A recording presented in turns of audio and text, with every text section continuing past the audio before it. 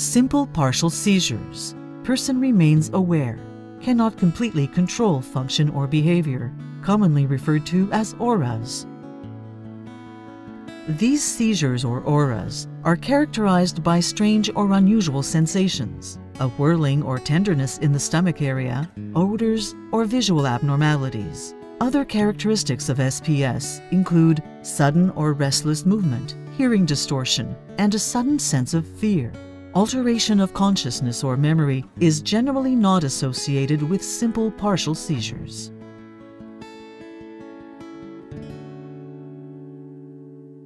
Complex partial seizures. Person experiences impaired consciousness, cannot completely control function or behavior. Complex partial seizures are often preceded by an aura. Auras are not unconscious acts. They are the funny smells, tastes, deja vu, fear, and many other conscious warnings patients may experience. They are often identified by the manifestation of complicated motor and sensory action. There may be some change in consciousness or memory.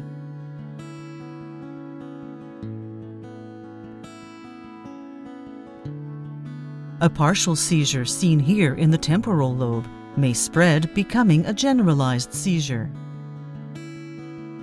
A generalized seizure affects the neurons of the entire brain.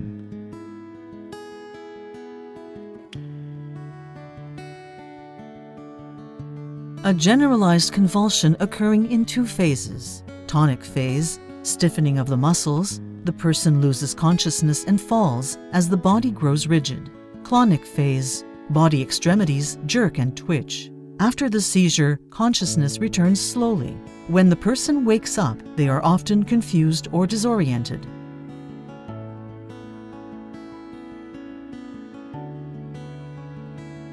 characterized by a complete loss of awareness.